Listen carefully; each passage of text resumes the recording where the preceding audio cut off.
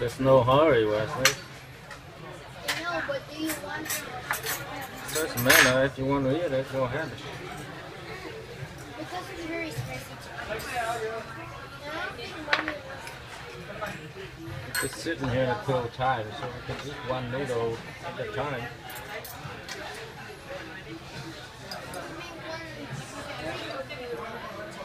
That's what I meant.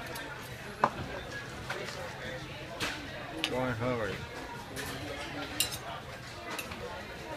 Oh, Ô nè, the tay, đứt tay.